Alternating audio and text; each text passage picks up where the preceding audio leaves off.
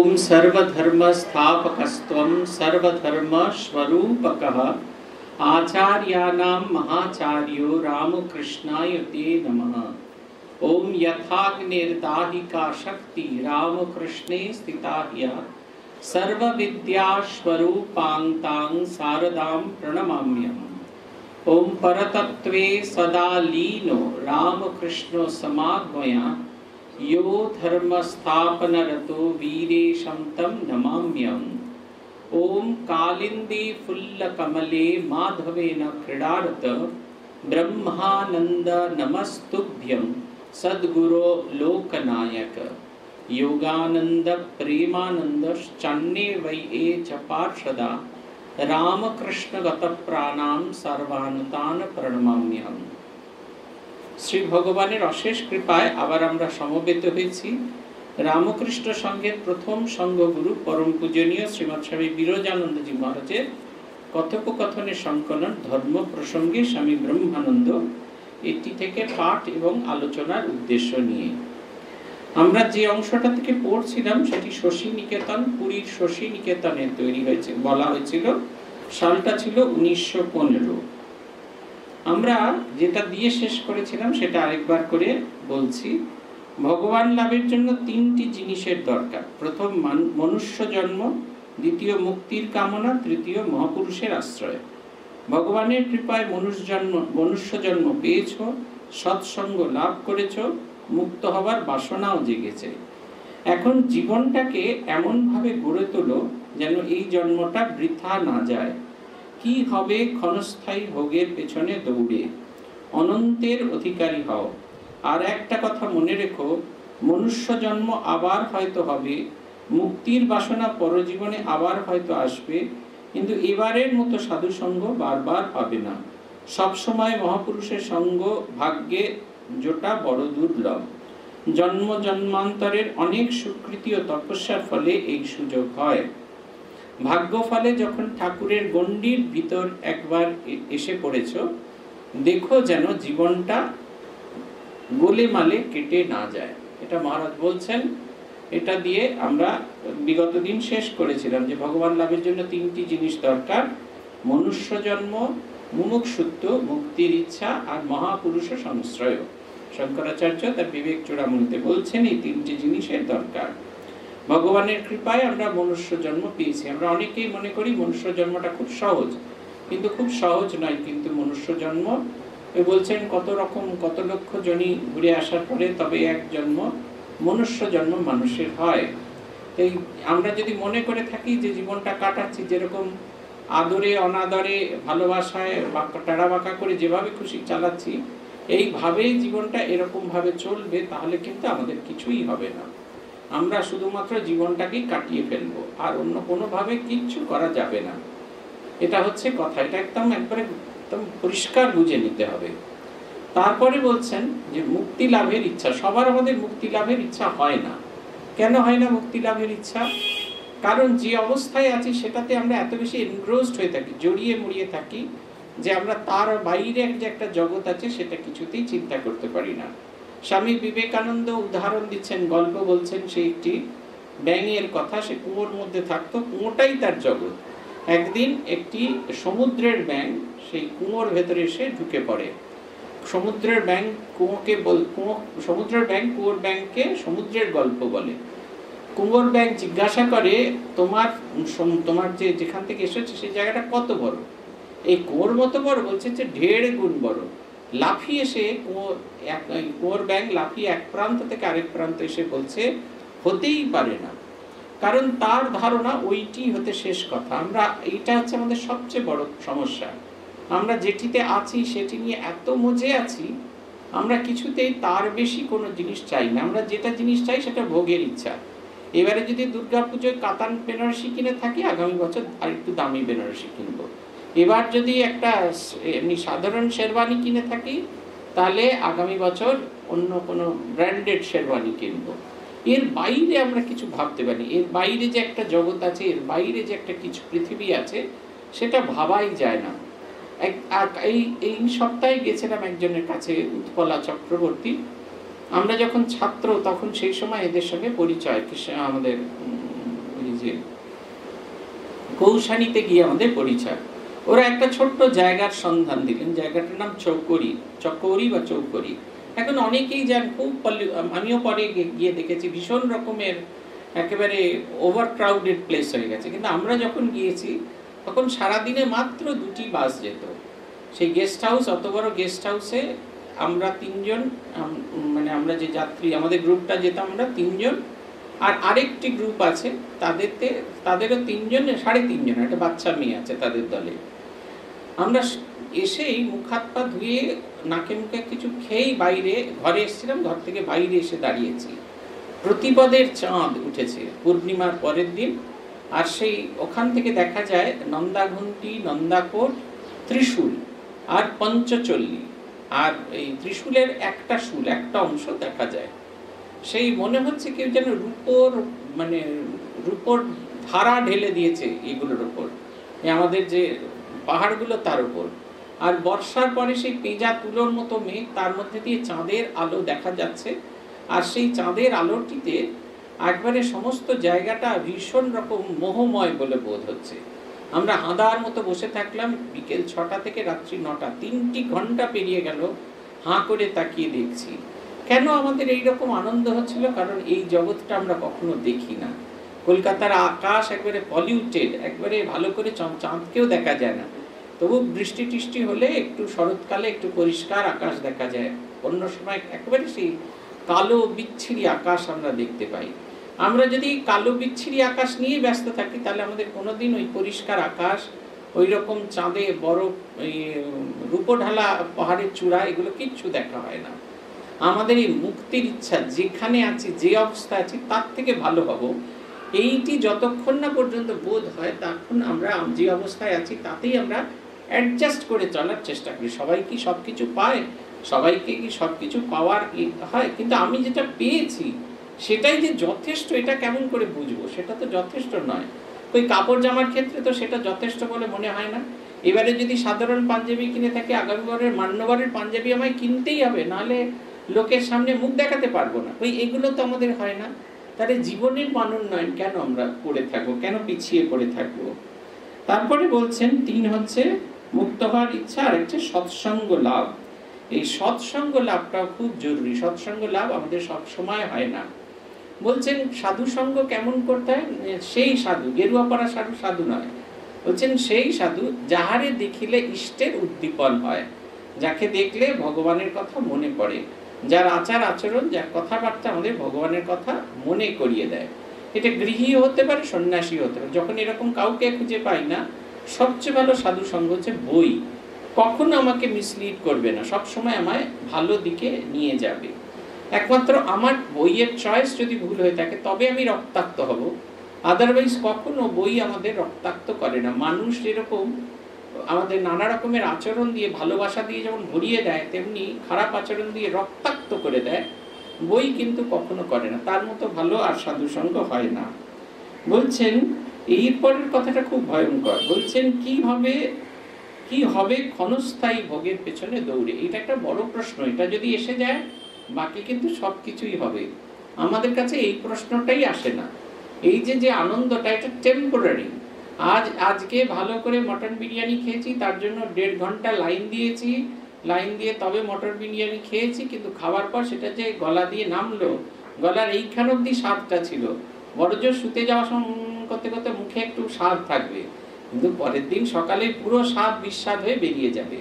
কোনো বড় জোর একটুখানি পুষ্টি আমার গায়ে লাগতে পারে, এর বেশি আর কিচ্ছু হয় না। কিন্তু সে আনন্দটা ক্ষণস্থায়ী, তখন আবার মনে হবে, আবার যাই, আবার গিয়ে ওই ভালো জায়গা থেকে কোথাও থেকে বিরিয়ানি কিনে খাই। এই প্রতি মুহূর্তে বারবার এই প্রতি যে আনন্দ নিচ্ছি সেটা ক্ষণস্থায়ী। একটা সময়ের পরে থেমে যাবে, একটা সময় পরে আনন্দের শেষ হয়ে যাবে। সিনেমা দেখার মতো। আমরা ভয় পেতাম, শেষের ওই টাইটেল কার্ডের দি এন্ড কথাটা কখন আসবে? ইদানিং তো শুনি নাকি দি এন্ড আসে না, এখন গান হয় আর তার পেছন পেছন কারা কারা অভিনয় করেছে, তাদের নাকি নাম ঠিকানা দেখা যায়। তো সেই রকম আমাদের ছোটবেলায় দি এন্ড লেখা থাকতো ইংরেজি ছবিতে বেশ ভালো করে একটা দি এন্ড আসতো, আমরা বুঝতাম হয়ে গেছে। ছোট ছোট ইংরেজি ছবি ছ সাত রিলেট হতো তো, তাতে আমাদের খুব মন খারাপ হতো। এমন স্টার ওয়ার্স একে মারছে, ও তাকে মারছে, কি একটা অদ্ভুত জগতের মধ্যে আছি। এই ক্ষণস্থায়ী আনন্দকে কখনো জীবনের সার বস্তু করলে হবে না। তাহলে কিন্তু বারবার ওই ক্ষণস্থায়ী আনন্দের ভেতরেই ঘুরে ফিরে বেরোতে হবে। কিন্তু জীবন একটা সময় আমাদের জীবনের ক্ষণস্থায়িত্ব বোধ করাবে। তখন বোধ হবে কিচ্ছু করা হয়নি। একবারে স্রেট ফাঁকি দিয়েছি এবং তখন আর ফিরে যাওয়ার নো লুকিং ব্যাক তখন আর ফিরে যাওয়ার কোনো রকম আর কোনো উপায় থাকে না। আবারকে রিমাইন্ড করে যে জীবনটাকে নতুন করে শুরু করব তা হয় না। দেখবেন এই যারা ফেসবুক হোয়াটসঅ্যাপে এই সমস্ত দেখবেন পোস্ট দেয়, জীবন যদি কুড়ি বছর পিছিয়ে যেত তাহলে তুমি কি হতে চাও? এই প্রশ্নটা অন্য কারণ না, তার নিজে সেও নিজে চাইছে, জীবনটা কুড়ি বছর পিছিয়ে যায়, অনেক কিছু করা বাকি চলে যেগুলো করা হয়নি। এবং সেটা ছলে সে অন্যদের জিজ্ঞেস করতে চায় তারা কি চায়, তারা কি চায়? আসলে আমি কি চাই সেটা হচ্ছে ইম্পর্টেন্ট কথা। আমি চাই জীবনটা কুড়ি বছর পিছিয়ে যায় নতুন করে জীবনকে দেখি, এটা হচ্ছে কথা। বলছেন, জন্ম জন্মান্তরে অনেক অনেক স্বীকৃতি ও তপস্যার ফলে মহাপুরুষের সঙ্গে ভাগ্য তপস্যার ফলে এই সুযোগ হয়। ফলাফলে ভাগ্য ফলে যখন ঠাকুরের গণ্ডির মধ্যে এসে পড়েছ, দেখো যেন জীবনটা গোলমালে কেটে না যায়। আমরা যখন ভাগ্য ফলে যখন ভগবানের কাছে এসে পড়েছি, এই জীবনটা যেন নষ্ট না হয়ে যায়। এই যে যেন কখনো যেন নষ্ট না যায়, কখনো যেন আমরা ভুলে না যাই। পূজনীয় ভূতেশ আনন্দজি মহারাজ রবীন্দ্রনাথের একটি গান খুব উল্লেখ করতেন, যদি তোমার দেখা না পাই প্রভু এবারে জীবনে তবে তোমার দেখা পাইনি আমি, সেই কথা রয় মনে, যেন ভুলে না যাই, বেদনা পাই শয়নে স্বপনে। এ সংসারের হাটে আমার যতই দিবস কাটে, আমার যতই দুহাত ভরে ওঠে ধনে, তবু কিছুই আমি পাইনি যেন, সেই কথা রয় মনে, যেন ভুলে না যাই, বেদনা পাই শয়নে স্বপনে। বলছেন যে আমরা পাইনি, এটা সত্যি কথা, কিন্তু আমরা যে পাইনি, সেটা আমরা বেশিরভাগ ক্ষেত্রে ভুলে যাই। আমরা রামকে পাই না বলে শ্যামের সাথে ঘর করি। এবং বেশ আনন্দের সঙ্গে ঘর করি এবং মনের ভেতরে রামকে পাইনি বলে কোনো দুঃখ হয় না। কিন্তু এই যে আমরা রামকে পাইনি বলে স্বামীর সঙ্গে ঘর করছি, এটা যেমন সত্য, কিন্তু রামকে পাইনি সেই বেদনাটা যেন আমাদের মধ্যে থাকে। বলছেন, যেন ভুলে না যাই, বেদনা পাই, শয়নে সকলে উঠতে বসতে। এবারে কাঁটার মতো যেন প্রতি মুহূর্তে সেটা প্রিক করে আমাকে, যে আমি ভগবানের ভালোবাসা থেকে বঞ্চিত হয়েছি, ভগবানের কৃপা থেকে বঞ্চিত হয়েছি। এই বোধটা আমাদের যেন থাকে। এরপর থেকে আমরা শুরু করব। মহারাজ বলছেন, বিশ্বাস বিশ্বাস, কেবল বিশ্বাস চাই। গুরুবাক্যে বিশ্বাস করে পড়ে থাকো। গুরুবাক্যে বিশ্বাস করে পড়ে থাকলে সব হয়ে যাবে। গুরুবাক্যে যদি বিশ্বাস না থাকে, শুধু মন্ত্রে তন্ত্রে কিছু হবে না। বেড়ালের ছানার মতো করে থাকো। গুরু যখন যা দরকার হবে করিয়ে নেবেন। নিজে তুমি কতটুকু বোঝো, তার উপরে ভার দিয়ে পড়ে থাকো। যাকে ভার দিয়েছ, তার একটা দায়িত্ববোধ আছে। তিনি তোমার নিজের চাইতে তোমায়, তোমার বিষয়ে বেশি ভাবেন। ষোলো আনা তাতে নির্ভর করো। তিনি সকল বিপদ, আপদ থেকে তোমায় রক্ষা করবেন। এ জগতে কারও সাধ্য নেই গুরু আশ্রিত শিষ্যের অনিষ্ট করে। গুরুর কৃপায় তার চারদিকে লোহার বেড়া দিয়ে ঘেরা। জীবনে অনেক ভুল হওয়ার সম্ভাবনা, যতক্ষণ না ভগবান লাভ হয়। গুরুকে আশ্রয় করে থাকলে ভুল হবার সম্ভাবনা নেই। আলের উপর দিয়ে বাপ বেটায় যাবার ঠাকুরের সেই গল্প মনে আছে তো? বাপ ছেলের হাত ধরলে পড়বার ভয় থাকে না। ছেলে বাপের হাত ধরলে পড়বার ভয় থাকে। সদ্গুরুর আশ্রয় যারা পেয়েছে, তারা যদি তাকে আশ্রয় করে পড়ে থাকে, তবে তিনি তাদের ভুলভ্রান্তি সব শুধরে দেবেন। বলছেন আর তিনটি জিনিস খুব বিশেষ করে প্রয়োজন। কারণ তিনটি বলছে, তিনটি তিনবার বলছেন তিনটি জিনিস না। একই জিনিস তার তিনটি প্রয়োগ। পজিটিভ কম্পারেটিভ এবং সুপারলেটিভ ডিগ্রি প্রথমে বিশ্বাস, দ্বিতীয়তে বিশ্বাস, শেষেতে বিশ্বাস। প্রথমত আমি তোমাকে চাই, দ্বিতীয় আমি তোমাকে চাই, তৃতীয়ত আমি তোমাকে চাই, সেই রকম। বিশ্বাস করা, আমি ভগবান লাভ করব। যে পথ পেয়েছি, সেই পথ দিয়েই ভগবান লাভ করবে। বিশ্বাসটা যদি না হয় তাহলে গুরু বাক্য, গুরু উপদেশ এমনকি গুরুর দেওয়া মন্ত্রতেও আমার কোনো কাজ দেবে না। প্রত্যেকের মন্ত্রের সাথে তপস্যানন্দজি বলতেন, ভগবানকে তোমার ভেতরে দিয়ে দেওয়া হয়েছে। দেখবেন আমাদের সবার মন্ত্রের ভেতরে একটি করে বীজ আছে। বীজ কি করে? যেমন গাছ, গাছের বীজ মাটিতে পুঁতলে ধীরে ধীরে তার থেকে গাছ হয়, তারপরে একটা সময় বড় হয় হয় তাতে ফুল হয়, নাহলে তাতে পাতা হয়। যাই হোক, একটা ফলনদারি কিছু হয়। ঠিক সেই রকম মন্ত্র যে বীজ মন্ত্র যে যায়, তার ভেতরে সেই ভগবানের নামের সাথে ভগবানের বীজ রোপিত করা থাকে। এবং সেইটিকে যদি আমরা যত্ন করি, আমাদের সাধন ভজন করি, গুরু নির্দিষ্ট পথে সাধন ভজন করি, তাহলে দেখবেন অবশ্যই তা ফল দেবে। ফল কি দেয়? না, আমার ভেতরের মানুষটা পরিবর্তন এনে দেয়। আমরা সব সময় অনুভব করতে পারি না তার কারণ আমরা নিজেদের একেবারে বিশ্লেষণ করি না। আমার ভেতরে যে বদল হয়েছে, এটা আমরা প্রথম বিশ্বাস করি না, আর বিশ্বাস করি না বলে ফিলও করতে পারি না। আমি যদি বুঝতে পারি যে এই যে ধরুন আপনি কোথাও একটা যাচ্ছেন, সামান্যতম, খুব সামান্য মেকআপ করলেন। আপনি ঘরেতে যেরকম ছিলেন, ঠিক সেরকম নেই। একটুখানি টাচ আপ করাতে আপনার চেহারাটা অন্যরকম হয়ে গেল। ভালো করে শার্ট আপনি ঝুলিয়ে পড়েছিলেন ইন করে শার্টটা পরলেন। তারপর হাতটাকে তুললেন ও ভাঁজ করে বার করে দিলেন আর একটা চটি করে প্যাটার্ন প্যাটার্ন করে যাচ্ছিলেন, তার বদলে একটা নট স্টার করে নিলেন। কিছুই এমন পরিবর্তন নেই, খুব সামান্য। চটি পরেছিলেন, তার বদলে জুতো পরেছেন পাদুকা আছে। জামা পরেছিলেন, সেটা ইন করে পরেছিল আউট করা ছিল, সেটাকে ইন করে পরেছেন। আর হাতটা তুলে একটু ইয়ে করে নিয়েছেন বাসের স্ট্যান্ড ধরলেও ঠিক যতটা দরকার জামার শার্টটা ততটা উঠবে। আপনি যেমন ছিলেন, তার ভেতরে একটা সামান্যতম, আপনি কই? কিছু তো করিনি, আপনাকে যে খুব সেজে গুজে বেরোচ্ছ, লোকে জিজ্ঞেস করে, খুব খুব মাঞ্জা দিয়ে বেরোচ্ছ। আমরা বলি, না কই মাঞ্জা তো দিই না আসলে আমরা বুঝতে পারি যা ছিলাম তাই আছে। কিন্তু আমার এই জামাটার ওরিয়েন্টেশন পরার ওরিয়েন্টেশনটা বদলে ফেলেছে। ঠিক এই রকম জীবনকে দেখার ওরিয়েন্টেশনটা যখন আমাদের বদলে যায়, তখনই আমাদের মধ্যে বদল আসে। এই মন্ত্র আমাদের জীবনকে দেখার ওরিয়েন্টেশনটা বদলায়। মন্ত্র কি করে? আমাদের দৃষ্টি আগে ছড়ানো থাকে, বহু দিকে থাকে। মন্ত্র, জপ আর ধ্যান আমাদের কি করে? আমাদের সেই ছড়ানো মনটাকে ধীরে ধীরে এক জায়গায় করে। আমরা যখন একটা জিনিস দেখি, বাকি আর অন্য কিছু দেখি না, তখন সেই মানুষটিকে, সেই জিনিসটাকেই খুঁটিয়ে খুঁটিয়ে দেখি। কিন্তু যখন আমরা নানা কিছু দিকে ওইদিকে দেখি, ও কি কাজ করছে, ও কি করছে, এ কি বলছে, সে কি বলছে, আমার মনটা ছড়িয়ে গেছে কিন্তু। আমি কিছুতেই আর কনসেন্ট্রেট করতে পারি না। সাধন ভজন এইটি আমাদের শেখায়। আমার ছড়িয়ে যাওয়া মনটাকে এক জায়গায় শেখায়। একটা বাগানে প্রচুর ফুল ফুটে আছে, প্রচুর ফুল ফুটে আছে।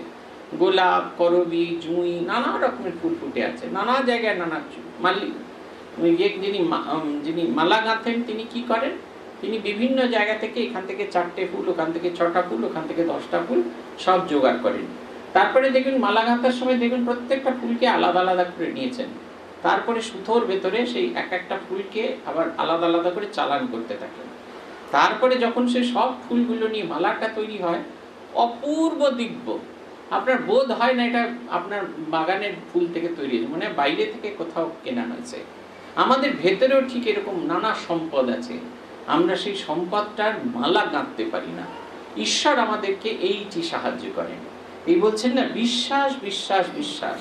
এটা হচ্ছে প্রথম নিজেকে বিশ্বাস করা।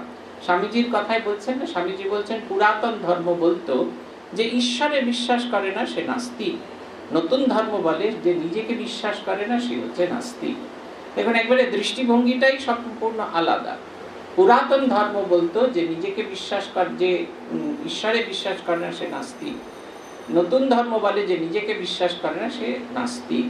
আমি যদি আমাকে না বিশ্বাস করি, আমার ভেতরে সে অসীম শক্তি আছে, এই, এইটাতে যদি আমার বিশ্বাস না হয়, তাহলে কোনো কাজই আমরা করতে পারব না, এক পায়ে এগোতে পারব না।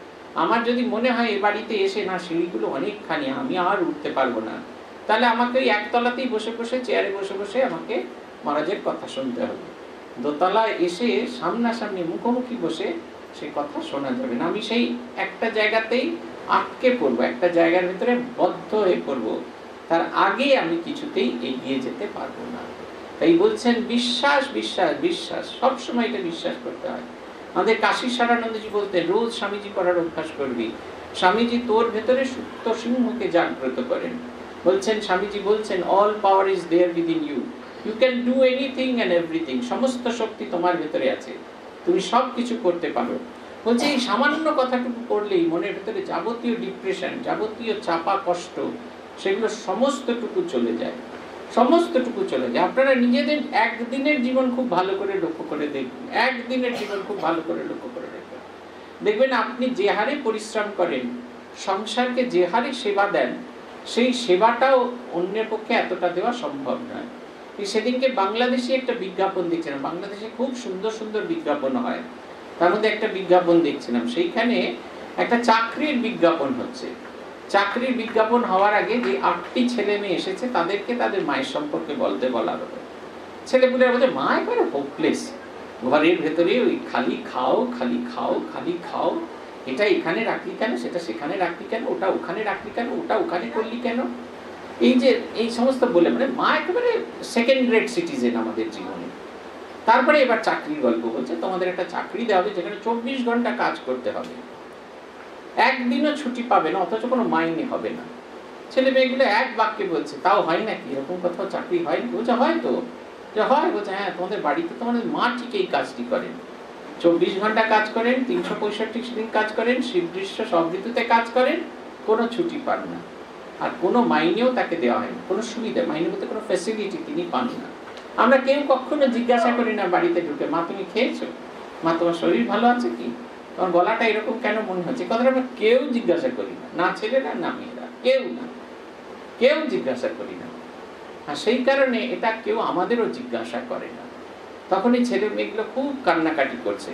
তারপরে শোনানো হচ্ছে, ওরা তো বলেছে তাদের মায়ের সম্বন্ধে কি? হ্যাঁ হোপলেস ইউজলেস এবার এই আটটা ছেলে মেয়ের সম্পর্কে তার মা কি চাইছেন? কেউ বলছেন, আমার ছেলেটা ওর বিজ্ঞানে খুব ভালোবাসা আছে, আমি চাই, সে খুব বড় বিজ্ঞানী হোক। নাম ডাক করুক। কেউ বলছে, আমার ছেলেটা বড় নাকুচু। ওর যেন একটা, ওর পছন্দের মতো একটা মেয়ে যেন হয়, ওর জীবনটা যেন, বিয়ে থা করে জীবনটা যেন সুস্থির হয়। আটজনের যে বক্তব্য যেগুলো পেশ করা হলো, টিভিতে দেখানো হচ্ছে, তারা প্রত্যেকে দেখছেন তাদের মা তাদের মঙ্গল কামনা করছেন। তাদের সন্তান সম্পর্কে কি উচ্চ ধারণা? অথচ সেই সন্তান তার মায়ের সম্পর্কে যে আমার মাটাই হোপলেস কোনো কাজের না। সারাক্ষণ এটা কেন খেলি না, ওটা কেন খেলি না? ওটা কেন করলি? বাসি জামাটা বিছানার উপর ফেলে রাখলি কেন? নিজের তোয়ালেটা ইয়েতে রাখলি কেন একদম ইউজলেস একবারে ব্যাকডেটেড কিচ্ছু বোঝে না। জীবনে আমার মায়ের যেন আটকে আছে। ছেলেগুলো হাপুস নয়নে কাঁদছে। আমরা বুঝতেও পারছি না যে আমাদের কত বড় একটা সম্পদ আছে। এটা বুঝি, যখন আমরা আমাদের বাবা মাকে হারাই, তখন হাড়ে হাড়ে বুঝি কি সম্পদ হারিয়ে ফেলেছে। হাড়ে হাড়ে বুঝতে পারি। তখন ঠিক দেরি হয়ে যায়। ঠিক সেই রকম। ঈশ্বরকে আমাদের সঙ্গে সংযুক্ত করে দিচ্ছেন গুরু। একটি ছোট্ট বীজের মাধ্যমে। আমার মনের ভেতরে গেঁথে দিয়ে ঈশ্বরকে আমার জীবনের সম্পদ করেছেন। অথচ আমরা সাধন করি না, ভজন করি না। তাই আমাদের ভেতরে যে গাছটা, সে প্রাকৃতিক নিয়মে যতটা বাড়ায় ততটুকু বাড়ছে। তাতে যতটুকু আনন্দ, তাতে যতটুকু স্বস্তি হয়। দেখবেন বহু মানুষ দীর্ঘদিন দীক্ষা নিয়েছেন। ছেষট্টি সালে একজন সেদিনকে বললেন, ছেষট্টি সালে প্রভুমার যে বছর প্রেসিডেন্ট হয়েছেন, সেই বছর দীক্ষা কই, সেরকম তো কিছু বুঝতে পারিনি? তাহলে মন্ত্রের জোরটা কম ছিল বলুন। বললেন, না না মন্ত্রের জোরটা সবই ছিল। কিন্তু আমার জীবনে কোনো প্রভাব আসেনি। বাহান্ন সালে দীক্ষা হয়েছিল শান্তনা দাসগুপ্ত এই গল্প, আপনাদের অনেকবার বলেছি। ভূতেশ আনন্দজিকে গিয়ে জিজ্ঞেস করছেন, কই মহারাজ, কিছু তো হলো না? বলছেন, বলো কি মা শান্তনা এই যে সকাল সন্ধ্যে তাকে ডাকবার যে ইচ্ছে হয়েছে, এটা কি কম বড় কথা? সত্যি আমরা বুঝতেই পারি না, এটা একটা বড় জিনিস। কোথাও গেলে আমাদের মনে হয় কতক্ষণে সন্ধেবেলা যাব, ঠাকুরের সামনে গিয়ে বসবো, একটু দুধ জ্বালাবো, ঠাকুরের সামনে গিয়ে বসবো হয়তো ইন্টিং ছট পাঁচ মিনিট করে উঠে পড়ব। কিন্তু একটা ভালোবাসা ঠাকুরের সামনে গিয়ে বসবো। তার সঙ্গে আত্মীয়তা তৈরি হয়েছে, এটা আমরা বুঝতে পারি না। স্বামীজি এই কারণে বলছেন না, আমার যাবতীয় কাজকে দুটি ভাগে ভাগ করা যায়। তার প্রথমটি হলো to preach up to mankind divinity within প্রত্যেক মানুষকে জানানো যে তার ভেতরে একটি দিব্য অবস্থা তার ভেতরে আছে, দিব্য বস্তু তার ভেতরে আছে। শুধু তাই নয়, এইখানেই শেষ নয়। And to help him to know how to use that divinity to day to day life তাকে সাহায্য করা জীবনের প্রতি মুহূর্তে কেমন করে সে তার সে দিব্য ভাবটিকে ব্যবহার করতে পারে, তার ভাবটিকে সে ব্যবহার করতে পারে। তার পক্ষে অন্য কোনো কিছু করা সম্ভব নয় এর চেয়ে কোনো রকম কিছু করা যায় না। কারণ সে স্বর্গীয়, তার ভিতরে স্বর্গীয় সত্তা আছে, সেটা যদি সে বুঝতে না পারে, তাহলে তার পক্ষে কোনোভাবেই এগিয়ে যাওয়া সম্ভব নয়। সেই কারণে বিশ্বাস করতে হয়। তিনবার তিনি বিশ্বাসের কথা বলছেন। বিশ্বাস বিশ্বাস বিশ্বাস। এই বিশ্বাস যদি না থাকে, তাহলে কিছুতেই হবে না। গুরুর কৃপা আমাদের কি করে? গুরুর কৃপা আমাদের একটা বেষ্টনীর মধ্যে রেখে দেয়। বেষ্টনীটা কি? বেষ্টনীটা হচ্ছে শুভ বেষ্টনী, ভালো জিনিসের বেষ্টনী। কখনো কোনো ক্ষতি হয় না। আমাদের ভেতরে আমরা যত সাধন ভোজন করি, যত আমাদের ভেতরে গুরু শক্তির বিকাশ হয়, আমাদের ভেতরে যে গুরু যিনি আছেন, তিনি তার যত বিকাশ হয়, তার শক্তির যত প্রকাশ আমরা করে থাকি, তার প্রদত্ত মন্ত্র দিয়ে, তাকে ঘুরিয়ে তত আমরা একটা বেষ্টনীর মধ্যে থাকি। শাস্ত্রে একটি শব্দ ব্যবহার করা আছে সেটা হচ্ছে মন্ত্র কবচ। মন্ত্র কবচ কীরকম না, যেরকম আপনারা অনেকেই দেখেছেন, পুরনো বাড়িতে ঢুকতে গেলেই ফোয়ারা থাকতো। একটা গোল জায়গা, তার মধ্যে একটা সে একটা পুতুল দাঁড়িয়ে আছে পুতুলের হাত থেকে সেই ঝর্ণার মতো জল ফুটফুট ফুটফুট করে বেরোচ্ছে। ভেতরে পাইপ লাগানো আছে আর সেই ঝর্ণার মতো জলটা সেই পুতুলটাকে একদম ঘিরে রয়েছে, চতুর্দিকে ঘিরে রয়েছে। ঠিক সেই রকম নিশিদিন জপ করলে কি হয়? মন্ত্র আমার ভেতর থেকে এইরকম মাথার মাঝখান থেকে বেরিয়ে আমার চতুর্দিকে একটা কবচের মতো সৃষ্টি করে, একটা আবরণের মতো সৃষ্টি করে। আপনারা যারা শীতকালে ক্লোক পরেন, আপনারা বুঝতে পারবেন ক্লোকের মতো সারা শরীরটা ঢাকা থাকে। ফলে কোনো বিপদ, কোনো অশুভ বোধ, কোনো অশুভ কাজ, কোনো জিনিস আমাকে আর স্পর্শ করতে পারে না। গুরুকে আশ্রয় করে থাকলে ভুল হবার সম্ভাবনা নেই। তিনি বলছেন, উদাহরণ দিচ্ছেন ঠাকুরের, সেই আলের উপর দিয়ে বাপ বেটা হেঁটে যাচ্ছিল। একজনের ছোট শিশু তার বাবার হাতটা ধরেছিল। তাই যখন সে এতটুকু মানে পা তার সরে গেল, সে তার বাবার হাত ছেড়ে নিচে পড়ে গেল। কিন্তু আরেকটি শিশু তার বাবা তার হাতটিকে ধরে রেখেছিলেন। যে মুহূর্তে সেই শিশুর পায়ের তলার মাটিটি একটু আলগা হয়ে গেছে, বাবা সঙ্গে সঙ্গে কষে ধরেছেন তার হাতটা। ফলে সেই ছেলেটি পড়ে যাওয়ার হাত থেকে রক্ষা করেছেন ইয়ের কাছে সুরের সুরের মিত্রী এসছেন, ঠাকুরের কাছে সুরেশ মিত্রী এসছেন। তিনি জীবনে একবারে ঘেঁটে গেছেন, এখনকার ছেলেদের ভাষায় ঘেঁটে গেছেন। তাকে রামচন্দ্র দত্ত নিয়ে এসছেন। রামচন্দ্র দত্তকে বলছেন তিনি এই তোমার যদি এই পরমহংস যদি আমাকে কিছু করে না দিতে পারে, তাহলে গালে দুটো ঠাস ঠাস করে থাপ্পড় মেরে দিয়ে চলে আসব। ঠাকুরকে তিনি প্রণামও করলেন না। একটা ঘরের একটা কোণে গিয়ে বসে আছেন আর ঠাকুরও তার দিকে ফিরেও তাকাচ্ছেন। ঠাকুর অন্যদের সঙ্গে আড্ডা মারছেন।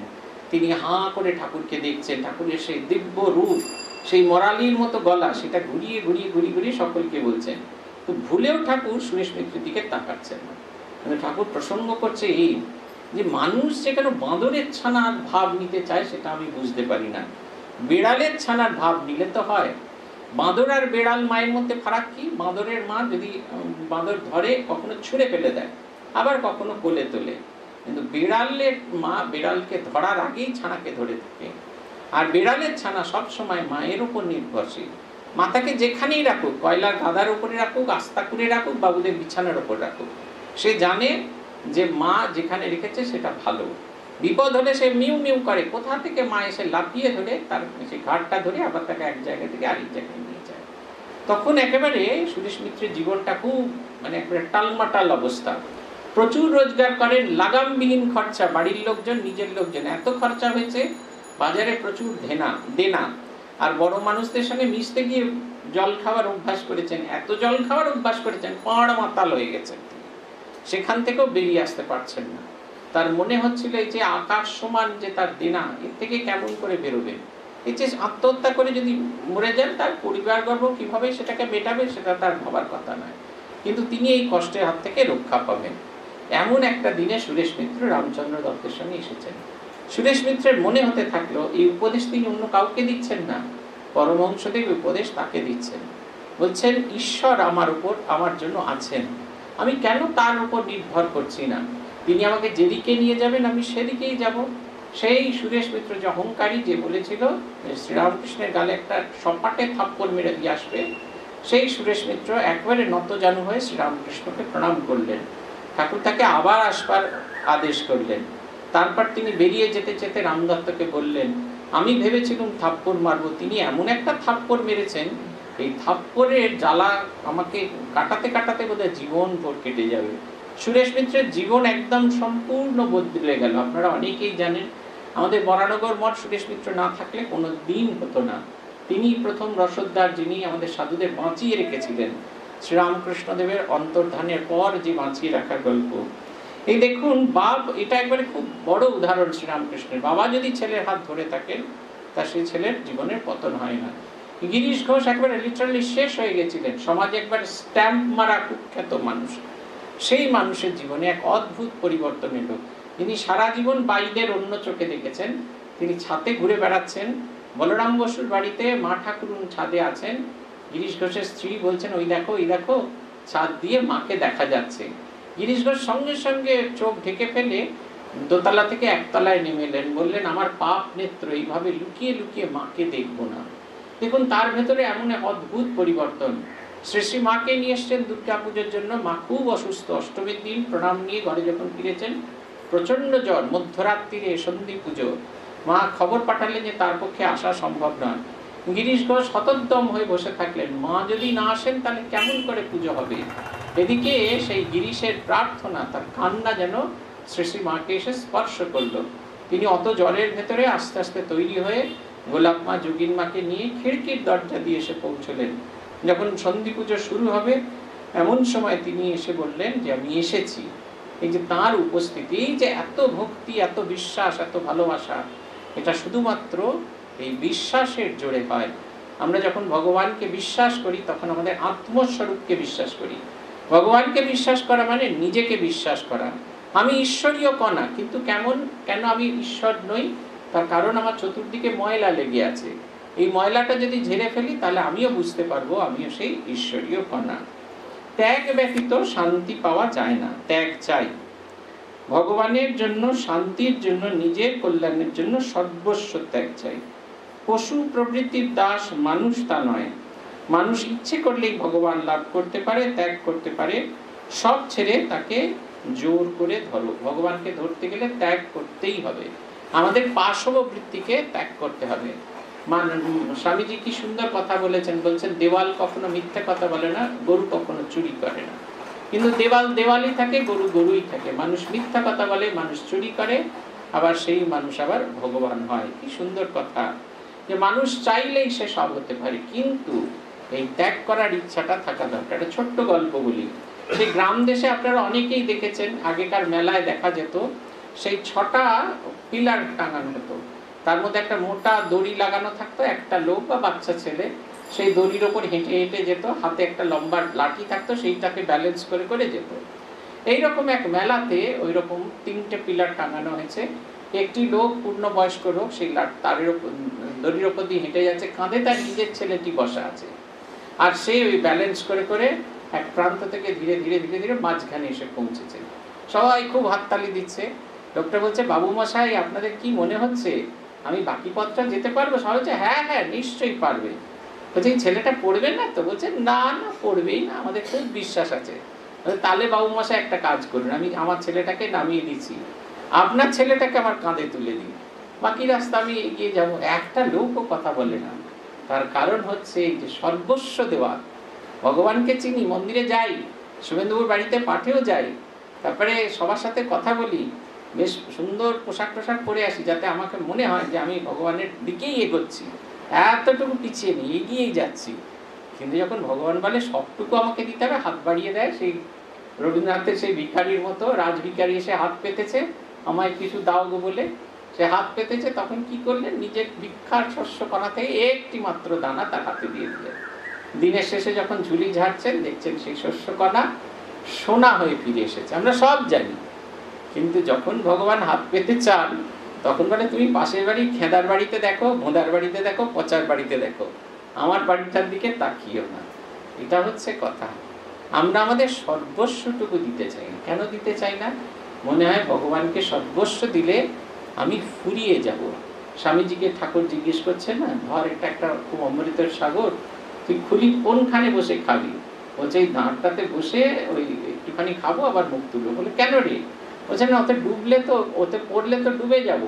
বলছে, তো অমৃতের সাগর, অমর হয়ে যাবি। এই যে অমৃতের সাগর, আমরা অমর হয়ে যাব, এই বোধটা আমাদের থাকে না। সেই কারণে ত্যাগ করতে পারি না। আমরা সব বলি, জানেন তো, সব সব ত্যাগ করে দিই। জমি, বাড়ি, সমস্ত কিছু ত্যাগ করেছি। কিন্তু চাবিটা আমার হাতে আছে। রোজ আমি করাত করাত করে খুলি, আমি ভাড়ার বার করে দিই। একবারে আমার হাত থেকে সব ক্ষমতা চলে গেছে। ভাড়ারের চাবিটা আমিও ছাড়িনি। এখনও চাল ডাল বার করতে গেলে বৌমা, তারপরে ছেলে, ভাইয়ের বৌরা সবাইকে আমার উপর নির্ভর করতে হয়। সেই লীলা প্রসঙ্গে গল্প আছে না? সে বুড়ি পিসিকে অনেক দিন ধরে দেখা যাচ্ছে না। সবাই জিজ্ঞেস করছে, পিসিমা, তুমি কোথায় গিয়েছিলে? বলছে, আর বাবা কোথায়? ভাইপোর গিয়েছিল আমাকেই তো সব করতে হলো। সেই একবারে সেই বরণের শ্রী থেকে একবারে ফুলসজ্জার খয়ের বাগান অব্দি শরৎ মাছ খুব খারাপ শব্দ ব্যবহার করেছেন ওখানে যে তুই এমনি হলে এরকম তোকে তোর ওপর নির্ভর করছে সবটুকু। আমরা মনে করি জগৎটা সব কিছু আমাদের ওপর নির্ভর করছে। তাই আমরা কিছুতেই ত্যাগ করি না। আমি চলে গেলে ছেলে পুলেগুলোকে কে দেখবে? আমি যদি এক্ষুনি চলে যাই ছেলে পুলেগুলো ঠিক, জগৎ ঠিক সে যেরকম চলছিল সেরকম। এক সেকেন্ডের জন্য স্তব্ধ হবে না। আবার এগিয়ে যেতে থাকবে, আবার এগিয়ে যেতে থাকবে। বড় জোর একটু দুঃখ হবে বড় জোর একটু কষ্ট হবে। আস্তে আস্তে আস্তে আস্তে সময় আমাদের সেই দুঃখ ভুলিয়ে দেবে। সেদিনকে আমাদের কাছে আসে একটি ছেলে, হঠাৎ করে তার মাকে হারিয়ে ফেলল। অফিস গেছে যাওয়ার সময় মার সঙ্গে দেখা হয়েছে। মা খাবার খেতে দিয়েছেন, খাবারকে বাইকে করে অফিসে রওনা দিয়েছেন, অফিসে গিয়ে পৌঁছেছেন। পৌঁছানো মাত্র জাস্ট দ্বিতীয় হুগলি সেতুটা ক্রস করে অফিসে গিয়ে পৌঁছেছেন। বাড়ি থেকে খবর এসছে, মা কিরম একটা করছেন। একদম আর দাঁড়াননি। আবার দ্বিতীয় হুগলি সেতুর ওইটা থেকে ঘুরে বাড়ি ফিরে এসে দেখছেন দেখছেন মা চলে গেছে। পরে আমাদের সঙ্গে কথা হচ্ছিল। বারবার ওই একই কথা, ভীষণ কষ্ট লাগছে। চব্বিশ ঘণ্টা মাকে দাহ করে দেওয়ার, ঠিক চব্বিশ ঘণ্টা মাথায় আবার আমাকে ফোন করেছে। বলছে, কালকে জানেন তো ঠিক এই সময় অবধি ছিল। এ দুঃখের কোনো সান্ত্বনা দেওয়া যায় না। এ দুঃখের কোনো সান্ত্বনা দেওয়া হয় না। প্রিয়জনকে হারানোর দুঃখের সান্ত্বনা দেওয়া যায় কিন্তু যেটা বলার, পৃথিবী কিন্তু থেমে নেই ক্ষুধা দৃষ্টি কিন্তু থেমে নেই আমরা দেখেছি, একশো আশি কিলোমিটার বেগে আমফান আছড়ে পড়েছে আমাদের সাগর দ্বীপে একেবারে ভেঙে চুড়ে তছনছ মনে হচ্ছে একটা আশ্রমটা ধ্বংসস্তূপে রূপান্তরিত হয়েছে। যা কিছু টেম্পোরারি কনস্ট্রাকশন ছিল সব ভেঙে গেছে। পাঁচশো সাঁত্রিশ খানা গাছ উপড়ে পড়ে গেছে। পাইপ ফেটে গিয়ে করার মতো জল বেরোচ্ছে। আর শরণার্থী শিবিরে যতক্ষণ ঝড় হচ্ছিল, চোদ্দশো লোক একে অপরকে জড়িয়ে ধরে, তার প্রিয়জনদের জড়িয়ে ধরে, আঁকড়ে ধরে বসে আছে। মনে হচ্ছে এক্ষুনি জানলা খুলে ভেঙে পড়ে সেই ঝড় এসে তাদেরকেও ভাসিয়ে নেবে। কিন্তু রাত্রি নটার সময় যেই ঝড় থামলো সবাই ক্ষুধার্ত। সবাই ভুলে গেছে, এতক্ষণ মৃত্যু তাদের চতুর্দিকে ঘুরে বেড়াচ্ছিল। মৃত্যুকে তারা খুব কাছ থেকে দেখেছে। কিন্তু তার সেই মুহূর্তেই আবার এমন মায়া এসে আটকালো যে সে কিছুতেই কিছু বোধ করতে পারছে না। এটা হচ্ছে ত্যাগ যদি না হয়, তাহলে মানুষ ইচ্ছা করলেই ভগবান লাভ করতে পারে। কিন্তু ওই যে বাচ্চাটা, তোমার বাচ্চাটাকে নিয়ে তুমি এপার থেকে ওপারে যেতে পারবে। ঠিক আছে বাবু মশাই, আমার বাচ্চাটাকে নামিয়ে দিচ্ছি। আপনার তো কোনো এত বিশ্বাস, আপনার বাচ্চাটাই আমায় দিন তখন আর কেউ তার বাচ্চা নিয়ে এগিয়ে আসে না। ত্যাগ মানে নাগাদের মতো গায়ে ছাই মেখে চিমটি হাতে ধরে বেড়ানো নয়। বাইরে লোক দেখানো ত্যাগের কোনো দাম নেই, কোনো লাভ নেই, বরং তাতে অপকার আছে। সেই ঠিক ঠিক ত্যাগই যে নিজেকে সম্পূর্ণভাবে ভগবানকে দিয়ে দিয়েছে। আমার বলে কিছু রাখেনি, আমার দেহ, মন, বুদ্ধি সব তোমায় দিলাম। যা ইচ্ছা করো, তোমার জিনিস তুমি ইচ্ছা মতো ব্যবহার করো, এই ভাব। শোনি ঠাকুর মা ছাড়া কিচ্ছু জানতেন না। যা করেন মা, মার ইচ্ছা ব্যতীত নিজের কোনো ইচ্ছা ছিল না। সর্বদা তাকে জানাবে, হে প্রভু, আমি ভালো মন্দ কিছুই জানি নে, বুঝি নে, আমি তোমার, যা ভালো বোঝো করো। এই ভাবটি জোর করে ধরে রাখবে। তোমার যখন যা দরকার, তিনি বুঝবেন, তোমাকে দিয়ে করিয়ে নেবেন। প্রার্থনা করো প্রার্থনা করো তার শরণাগত হয়ে পড়ে থাকো। আমাদের সব সময় বোধ হয় জানেন তো, যতক্ষণ না আমরা লোককে দেখাতে পারছি, ততক্ষণ আমাদের মনের ভেতরে স্যাটিসফ্যাকশন হয় না যে আমরা ভগবানকে ডাকি। এটা যতক্ষণ না দেখাতে পারছি, ততক্ষণ হয় না। আমাদের যেদিন দীক্ষা হলো, আমি তো মর্নিং কলেজে পড়তাম, আমার বন্ধুদের বললাম, বুঝলি তো, কালকে কলেজে আসব না। কেন আসবি না কালকে আমার দীক্ষা আছে, ঠিক আছে। তারপরের দিন কলেজে এসে হাজির। ছেলেরা সবার আগে জিনিস নিয়ে তোর মাথাটা কামায়নি? কেন মাথা কামাতে যাবে কেন? দীক্ষা হলে তো মাথা কামায়। কিছু বাহ্যিক চিহ্ন না থাকলে আমার আমি যে ভগবানের কাছে এসছি, সেটা আমরা বোধ করতে পারি না। অথচ সত্যি সত্যি ভগবানের কাছে আমরা এসেছি। আমাদের দীক্ষার সময় সেই শ্রীরামকৃষ্ণের অস্থি স্পর্শ করে দেওয়া হয়। পরশ পাথরে স্পর্শ লেগেছে। আমার শরীরটা লোহার তরবারির আকারই আছে, কিন্তু এটা সোনার পেয়ে গেছে। এটা দিয়ে আর জীবহিংসা হয় না। এই বোধটা আমার কিছুতেই যাচ্ছে না। আমরা সব সময় মনে করছি, যদি না খুবভাবে নিজেকে একটু নানা রঙে রাঙিয়ে দিতে পারি, তাহলে কিছুতেই আমরা নিজেদেরকে ভগবানের ভগবানের কাছে গেছি এটা বোধ করব না। ইদানিং আজকাল দেখি ফেসবুকে দেখি। আমি যদি খুব সমালোচনা করি লোকে খুব আমায় গালাগাল দেয় মনে মনে, কিন্তু এটা আমি দেখেছি, সেটা হলো এই দেখা হলে জয় মা জয় মা জয় মা, সবাই সবাইকে জয় মা জয় মা বলছে। হ্যাঁ মা নাম করা সত্যি খুব ভালো, কিন্তু মা কি আল্লাহ আকবরের মতো? নাচা চালে মা বুঝতে পারবে না। কিছু হলেই জয় মা। কেন লিখছি জয় মা জানি না। একটা ভালো জিনিস আলোচনা হচ্ছে, সেটা ভালো কি মন্দ সেটা নেই। খালি একটা কথা, জয় মা। যেন জয় মা, জয় ঠাকুর, জয় মা। মা সম্পর্কে পাঁচটা বাক্য লিখতে পেলে হয়ে যাবে আমার পেন্সিল ওইখানেই ভেঙে পাঁচ টুকরো হয়ে যাবে। কিন্তু তবু আমাদের ওই জয় মা জয় মা। আসলে আমরা ভেতরের দিকে ডুবে যেতে চাই না। আমাদের স্পঞ্জ আছে, আমাদের মন হলো স্পঞ্জের মতো। স্পঞ্জ যেরকম জলের মধ্যে ফেলে দিই, মুহূর্তের মধ্যে সবটুকু শুষে নেবে। ঠিক সেরকম ঈশ্বরীয় অধ্যাস আমাদের সেটা পড়া মাত্র আমার মন টেনে নেবে। অথচ আমি কিছুতেই ভগবানের সঙ্গে কন্ট্যাক্ট করতে দিই না। কিছুতেই তার সঙ্গে একীভূত হতে দিই না। আমি খালি ভয় পাই। যদি ওনার তো বাজে, আপনি কেন দেখছেন? কিছুতেই আমরা বোধ করতে চাই না যে আমরা ভগবানকে ডাকি। ভগবানকে ডাকা মানে ঠাকুর নিজে বলছেন, ধ্যান করবে মনে বনে কোণে। নিজের মনের ভেতরে, কোণে মানে কোন একটা নির্জন স্থানে বনে মানে যেখানে কেউ কোথাও গিয়ে পৌঁছয়নি। এখানে সাধারণ মানুষের প্রবেশ নেই। সেই মনের সেই রাজ্যে প্রবেশ করতে হবে। বলছে যে ঠিক ঠিক, সেই ঠিক ঠিক ত্যাগী যে নিজেকে সম্পূর্ণভাবে ভগবানের দিয়ে দিয়েছে, আমার বলতে কিছু রাখেনি, আমার বলতে কিচ্ছু রাখেনি। কালকে একজনের সঙ্গে দেখা হলো, তারা তাদের বাড়িটি বেলুর মঠকে দান করে দিয়েছেন কিন্তু বেলুর মঠের কাছে তাদের জীবন সত্য আছে, যতদিন বেঁচে থাকবেন ততদিন থাকবেন। অতএব আমার বাড়ি যখন দিয়ে দিয়েছি তিনি আমার মুখেও বললেন যে বাড়ি দিয়ে দিয়েছি। এখন মহারাজরা আমাদের থাকতে দিয়েছেন, যতদিন বেঁচে আছি ততদিন থাকতে দিয়েছেন। তারপরে তৃতীয় কথাটা কি? একদিন আমাদের বাড়িতে বেড়াতে যাবে। আমি দিয়ে দিয়েছি। আমি সেই বাড়িতে আশ্রিতার মতো আছি। আবার সেই বাড়িতে আমার অন্যকে আমন্ত্রণ জানার অধিকার আছে। আমরা যেমন যখন এই ছোট ছোট আশ্রমে থাকি, সেখানে আমরা কাউকে বলতে পারি না এসো গো দুপুরে খেয়ে যাও গো। নিজের আশ্রমে যেরকম মুখ ফুলিয়ে বলতে, ও, আপনি এসেছেন, বসুন, প্রসাদ পেয়ে যাবেন। গলা বাজিয়ে বলতে পারি, সেটা অন্য আশ্রমে বলতে পারি না। অনুরোধ করতে হয়, ভান্ডারিকে গিয়ে জিজ্ঞেস করতে, একজন এসেছে, একটু কি প্রসাদ পাওয়ানোর ব্যবস্থা করা যাবে? খুব যেন মৃদুভাবে সেই কথাটা বলতে হয়। আমার তো সেদিনকে এসেছিলেন একজন, আমাকে ছাড়তে এলেন, দুপুর একটার সময় ছেড়ে দিয়ে চলে গেলেন। একটা নেন একটা চল্লিশ, ছেড়ে দিয়ে চলে গেলেন। আমার এত কষ্ট হচ্ছিল। এই দুপুরবেলা তাকে আমাকে ছেড়ে দিতে হলো, কিন্তু কোনো উপায় নেই। তাকে আমি ওপরে নিয়ে যেতে পারছি না, খাওয়াতেও পারছি না। এটা আমাদের বুঝতে হবে কিন্তু। ভগবানকে দিচ্ছি, ভগবানের উপর নির্ভর করছি মানে সবটুকু তাকে দিয়েছি। আমার যেসব দিতে হবে, সে তো আমি জানি। আমার যত বৃত্ত প্রভু, আমার যত বাণী, সব দিতে হবে। আমার যা কিছু আছে, সব দিতে হবে। যতক্ষণ না দিতে পারছি, ততক্ষণ অবধি কিচ্ছু কিচ্ছু হবে না, একদম। জিরো, কিচ্ছু হবে না।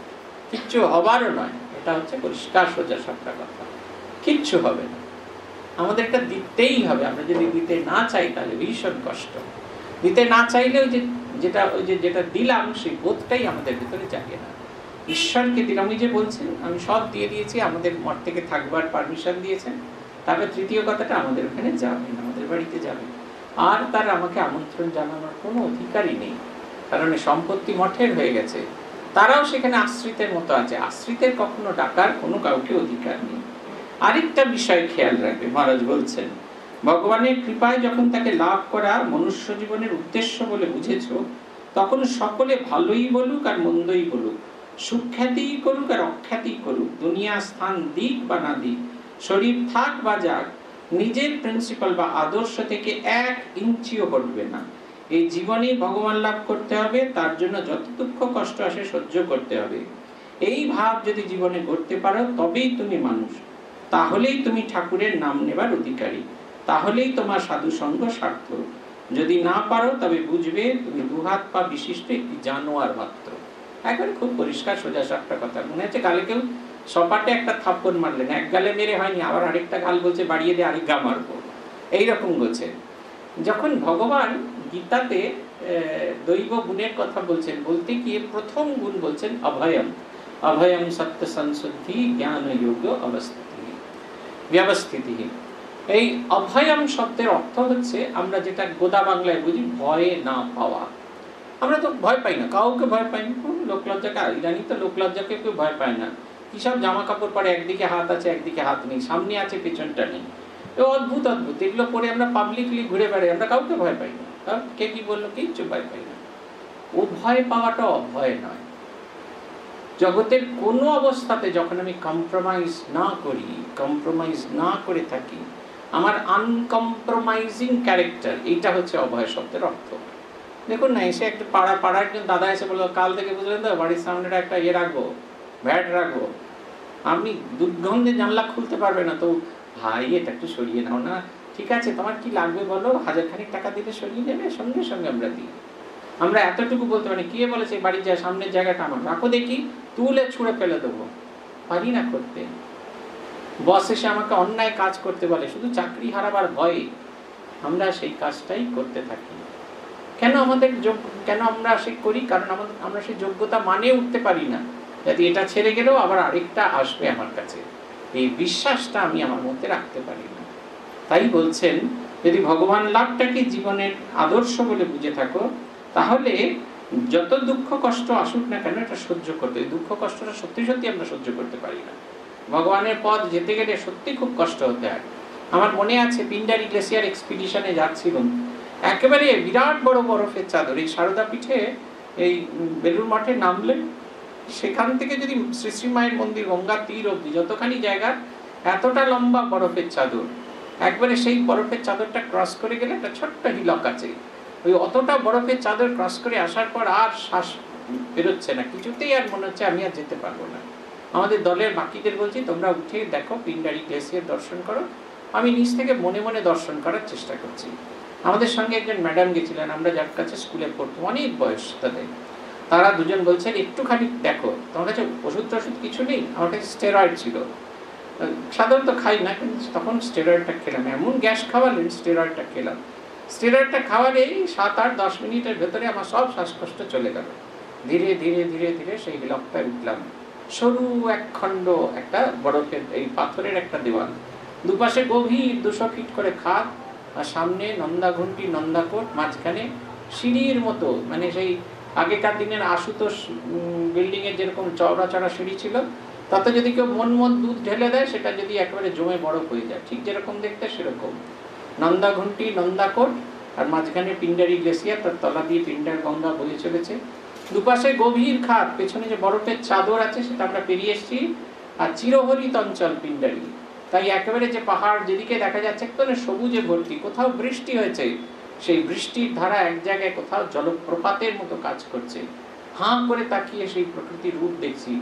আমার দুপাশে গভীর খাদ আছে, এমন গভীর খাদ, এত অপরিসর জায়গা যে আমরা প্রত্যেকে প্রত্যেককে লাঠি দিয়ে ধরে আছি। একজন লাঠির একদিকে দাঁড় ধরে আছে, তার একজন লাঠির আরেকটা দিক ধরে আছে। আমরা কেউ লাঠি ছাড়া ওখানে দাঁড়াতে পারছি না প্রচণ্ড হাওয়া দিচ্ছে, চুপ করে ওখানে দাঁড়িয়ে আছে।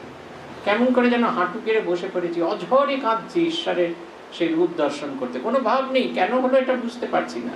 শুধু বোধ হচ্ছে, আমি লিটারালি একটা ইডিয়েট এই জগৎকে যিনি চালান, তিনি একটা সুপারম্যান। সুপারম্যানের খোঁজ করতে হয়। এই বোধটা থাকার দরকার। আমি ঈশ্বরকে অনুসন্ধান করতে এসেছি। জীবনে যতই কষ্ট হোক না কেন, আমি কখনো কোনো অবস্থা থেকে সেই আদর্শ থেকে সামান্যতম বিচ্যুত হব না। মহারাজ বলছেন, আরেকটি বিষয় এখানে পরিষ্কার করে বলে রাখছি। গুরু বলতে আমরা কি বুঝি? যে কেউ বিষ সংযুক্ত করে কানে মন্ত্র দেন, সাধারণত তাকেই গুরু বলা হয়। সিদ্ধ পুরুষ ব্যতীত কারুর গুরু হবার অধিকার নেই। যার রাস্তার খবর জানা নেই, তিনি অপরকে রাস্তা দেখাবেন কি করে? অবশ্য মন্ত্রশক্তি সমানভাবেই রয়েছে। কিন্তু বিধি ঠিক মতো না জানার জন্য গুরু শিষ্য উভয়েরই ঠিক ঠিক উন্নতি হয় না। এই জন্য শিষ্য প্রাণে শান্তি পায় না। শ্রী শ্রী ঠাকুর এসে এবার রাস্তা দেখিয়ে দিয়েছেন। অমূল্য রত্ন এদের, অর্থাৎ ঠাকুরের সন্তানদের, শিষ্যদের ভাণ্ডারে রয়েছে। যে কেউ সৎ বিশ্বাসী এবং ভক্তিমান হবে, তাকে এখানে আসতেই হবে। অন্য কোথাও শান্তি নেই।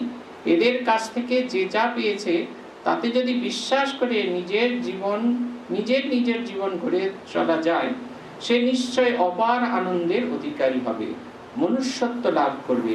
এরা এ যুগের ভাবে ভাবু এ যুগের ভাবে ভাবু এ যুগে কীরকম শিক্ষা দীক্ষা দেওয়া দরকার এরা ভালো জানে। যার যেভাবে উন্নতি হবে তাকে সেভাবেই উপদেশ দেন। কাউকে যথাবিধি দীক্ষাবিধি দিয়েছেন, কাউকে উপদেশ ছলে দীক্ষা দিয়েছেন, কাউকে বা স্বপ্নে দীক্ষা দিয়েছেন। যার ভাগ্যে যেরকম জুটেছে সে সেটি বিশ্বাস করে রাস্তা চলুক, সরল প্রাণে গুরুর কাছে প্রার্থনা করুক, বাকি যা দরকার তিনি দেবেন। তিনি নর শরীরে থাকুন বা নাই থাকুন, শিষ্যের জ্ঞান লাভ না হওয়া পর্যন্ত প্রকৃত গুরু যিনি, তিনি শিষ্যকে পথ দেখাবার জন্য তার মুক্তির জন্য অপেক্ষা করেন। শিষ্যের জন্য গুরুর মধ্যে শিষ্যের জন্য, গুরুর মধ্যে, গুরু মধ্যে মধ্যে স্থূলভাবে প্রকাশ হন। অর্থাৎ যিনি মন্ত্র দিয়েছেন আমাকে কানে সবীজ মন্ত্র যিনি দিয়েছেন। কিন্তু কেন সিদ্ধ গুরুর কাছে শুনতে চাই? কারণ যিনি সমস্ত পথটা চলেছেন, তিনি সমস্ত পথের পথটা জানেন। যে সিদ্ধ নয়, সে তো সমস্ত পথ জানি। মন্ত্রের অবশ্যই শক্তি আছে। কিন্তু যে বলে দিচ্ছে, তার কথার ভেতরে অনেক বেশি শক্তি আছে। দেখুন, ঠাকুর সেই আঠারোশো ছিয়াশি সালের পয়লা জানুয়ারি বিকেল তিনটের সময় তার শিষ্যদের বললেন, আর তোমাদের কি বলব? তোমাদের চৈতন্য হোক। এইরকম কত জানুয়ারি মাস এসে গেছে, তারপরে আমরা কত হ্যাপি নিউ ইয়ার গ্রিটিংস পাঠিয়েছি। কিন্তু তোমাদের আর তোমাদের কি বলব? তোমাদের চৈতন্য হোক। এইরকম ভালো গ্রিটিংস ওয়ার্ড আমরা বোধহয় গ্রিটিং ওয়ার্ড আমরা একটাও খুঁজে পাইনি। এইরকম ভালো কথা আমরা এরা একটাও খুঁজে পাইনি যত দিন যাচ্ছে, আমরা সেই পুরনো জিনিসকেই চর্বিত চর্বণ করছি। কিন্তু তবু আমাদের প্রাণের যেন আকুতি মিলছে না, এত শক্তি সেই কথা। কেউ শ্রীরামকৃষ্ণকে জানে না, সে কেউ শ্রীরামকৃষ্ণকে বোঝে না, কিন্তু তারা আসছে, ছুটে ছুটে আসছে। তাদের মনে হচ্ছে যে তার কাছে এই দিন এলে যেন সে মুক্তির খোরাক খুঁজে পাবে। এইটা হচ্ছে সিদ্ধ পুরুষ আর সাধারণ মানুষের ভেতরে ফারাক ঠাকুর সেই সম্পদের হাঁড়ি তার সন্তানদের মধ্যে রেখে গেলেন। শুধুমাত্র সন্ন্যাসী সন্তানদের মধ্যে রেখে যাননি, তার গৃহী সন্তানদের মধ্যেও রেখে গেলেন। আমরা যারা, দেখবেন আমরা যারা সাধু হয়েছি বা আপনাদের যারা ভগবান লাভ করার ইচ্ছা হয়েছে, তারা সবাই সবাই পড়েনি, এরকম লোক নেই যে কথামৃত পড়েননি। তিনি কিন্তু মাস্টারমশাই কিন্তু গৃহী ছিলেন, একবারে ঘরের ভেতরে থাকতেন। কিন্তু তাঁর যে দেওয়া যে শব্দ অখণ্ডা ইয়ে খোকা মহারাজকে বলছেন যে তোর বাড়ির কাছাকাছি মাস্টার থাকে, তার কাছে মাঝে মাঝে যাস। বলছে, সে তো সংসারী লোক, তার কাছে যাব কেন? সে যদি জানবে, তাহলে নিজের জীবনটা ওরকম এলোমেলো করে মরতো ঠাকুর বলছেন, ওরে, ওরম কথা বলিস নি, সে কি নিজের কথা বলবে? সে এখানকারই কথা বলবে। এই কথা মাস্টারমশাই শুনলেন, খুব হাসছেন মাস্টারমশাই। তিনি বলছেন, কেউ কেউ ওই সাগরে যায়, সেখান থেকে গিয়ে ছোট ছোট জ্বালাই করে জল ভরে নিয়ে আসে। আর কেউ এলে তার হাতে একটু একটু করে সেই পবিত্র জল দেয়। ঠিক সেই রকম আমিও তার কথা নিয়ে আসি, তার সঙ্গে আমাদের কথাবার্তা হয় এবং তার সেই কথা সেগুলো নিয়ে আমরা আলোচনা করি। মাস্টারমশাইয়ের আছে, আপনারা যদি শ্রীমদ দর্শন পড়েন দেখবেন কেমন করে কথামৃত লেখা হয়েছে, তার একটা খুব সুন্দর ছবি দেওয়া আছে নিত্যাত্মানন্দজি দিয়েছেন। যে কথামৃতের আপনারা যদি ডায়েরিটা দেখেন, আপনাদের খুব অবাক লাগবে, ওই ডায়েরির ওই কটা কথা দিয়ে কি করে এক একটা লেখা বেরিয়েছে।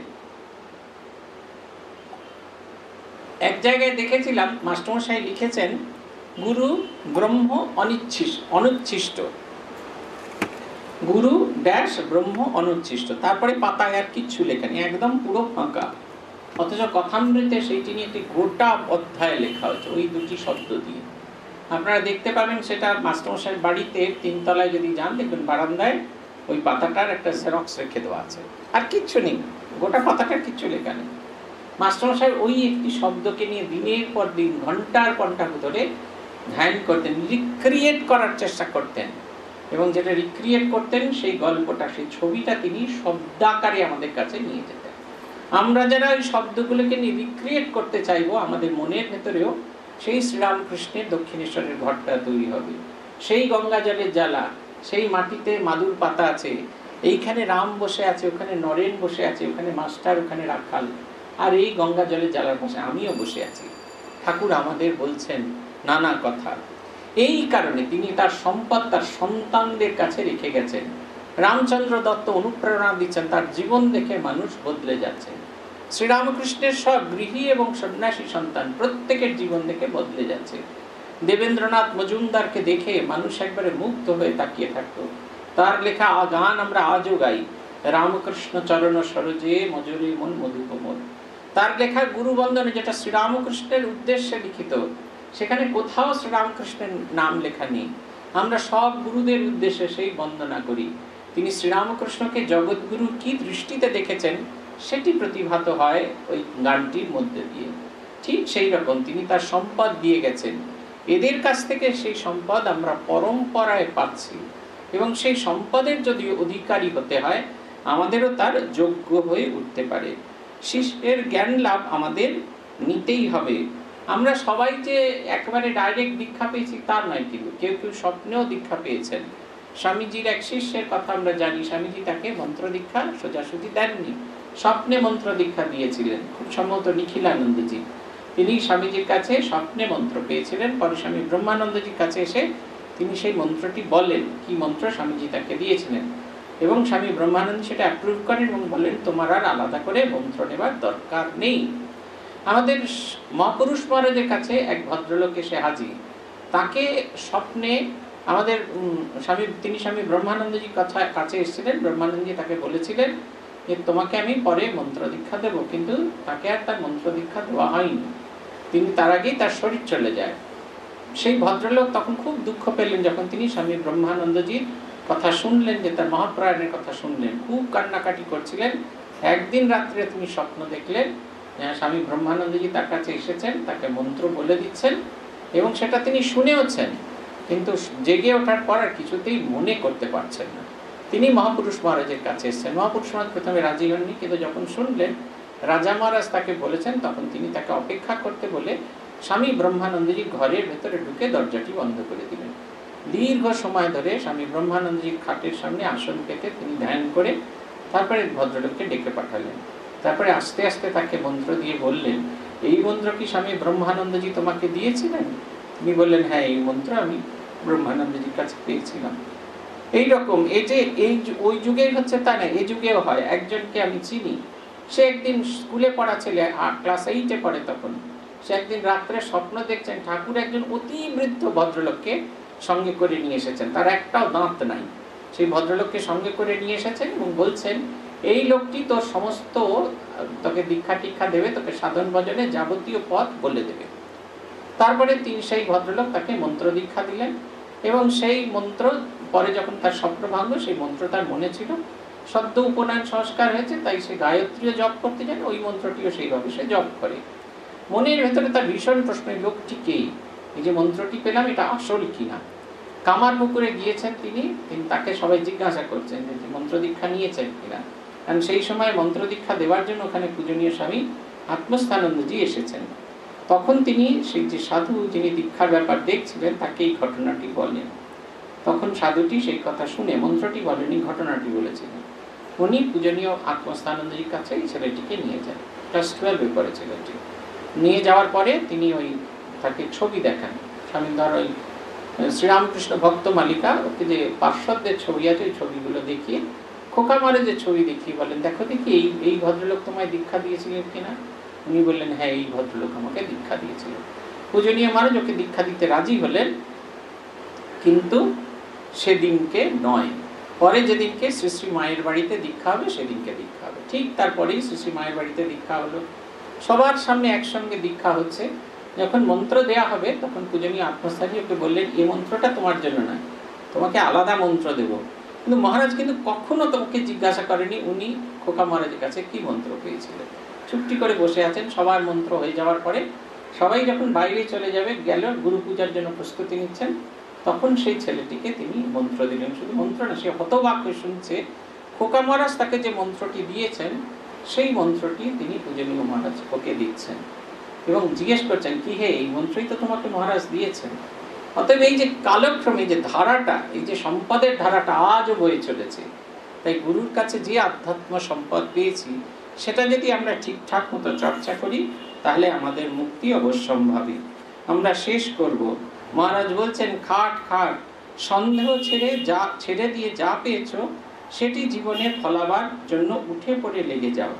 ঢাকডোল পিঠে নয়, অতি গোপনে লোকে যেন টের না পায়। নানা রকম লোক আছে, কেউ নানা কথা বলে ঠাট্টা করে, ভাব নষ্ট করে দেয়। কেউ বা সুখ্যাতি করে অহংকার বাড়িয়ে দেয়। ঠাকুরের সেই কথাটি মনে রেখো, ধ্যান করবে মনে মনে আর কোণে অর্থাৎ সাধন ভজন স্মরণ মনন যথাসম্ভব লোকচক্ষুর আড়ালে করবার চেষ্টা করবে। কিছুদিন বেশ করে খেটে ভজন করে দেখবে কি আনন্দ, কি মজা, কি আনন্দ। দেখবে তুমি নূতন মানুষ হয়ে গেছো। যখন বের হয়ে এসেছ, তখন মূল মন্ত্র করো। তাকে লাভ করব তাকে লাভ করবই করব এ জীবনে। সদ্গুরুর আশ্রয় পেয়েছ, ভাবনা কি? হবেই হবে। মহারাজ বলছেন, যেটা আসল কথা সেটা হচ্ছে পরিশ্রম। যেটা পেয়েছি, যে সম্পদ, সেটিকে যেন আমি তার তার যে মূল্য, সেটিকে যেন আমরা বুঝতে পারি। তার মূল্য যদি আমি না বুঝতে পারি, তাহলে কিন্তু হবে না। আমার কাছে একটা কোহিনুর মণি আছে, আমি তার মূল্য বুঝি না। যে আছে তাকেই দেখা এই দেখো, এটা কোহিনুর মণি। একটা সময় সে, আমার নিজেরই সন্দেহ, এটা কোহিনুর মণি তো? আমি এত অমূল্য, আমার কাছে অমূল্য সম্পদ আছে, অধ্যাত্ম সম্পদ আছে। আমি একটুখানি ঘষলেই তার উপরে যে ময়লাটা, সেটা যদি সরে যায়, আমার ভেতরে সেই সোনার মানুষটাকে দেখা যাবে। কিন্তু কিছুতেই আমি সেই সোনার মানুষটাকে সরে দেখানোর চেষ্টা করবে না। দক্ষিণ ভারতের সেই মন্দির আছে, যেখানে কালা ইয়ের যে দস্যুর ভয়ে সেই সোনার বিগ্রহের গায়ে কালো একটা কিছু লাগিয়ে দেওয়া হয়েছিল। সবাই জানতেন দূর থেকে ওটা কালো পাথরের মূর্তি। একদিন কোনো কারণে তার ভেতরে কোথাও একটু জল টল পড়ে গেছিল, একটু ঘষতেই সেই আবরণটা খুলে যায়। তখন দেখা যায় ভেতরটা সোনা দিয়ে তৈরি। তারপরে গোটা মূর্তিটার ওই কালো আবরণটাকে সরিয়ে দিয়ে দেখা গেল এক অপূর্ব দিব্য মূর্তি। ঠিক আমাদের ভেতরে ওই রকম একটা আবরণ দেওয়া আছে। সংসারের আবরণ সেটা আমাদেরকে ঘিরে আছে। আমরা যে মুহূর্তে সেটাকে ছেড়ে দেব, সেটাকে সরিয়ে দিতে পারব, সে মুহূর্তে এক নতুন মানুষ তাকে আমি দেখতে পাবো। এই জীবনে আমি তাকেই লাভ করতে পারব এবং শ্রী ভগবানের কৃপা আমাদের ভেতরে যেন সেই জেদটা জাগে। এই জীবনে, এই এই শরীরে শ্রী শ্রী ভগবানকে আমি লাভ করে ধন্য হয়ে যাব। আজ এই পর্যন্ত শ্রী ভগবানের কৃপা হলে আবার আগামী মাসে আপনাদের সঙ্গে, সকলের সঙ্গে দেখা হবে। ওম প্রণতানাম প্রসীদত্বম। देवी विश्वार्तिहारिणी त्रैलोक्यवासिनामित्ते लोकानां वरदा ओम शांति ओम शांति ओम शांति। हरि ओम। तत्सत श्री राम कृष्णार्पणमस्तु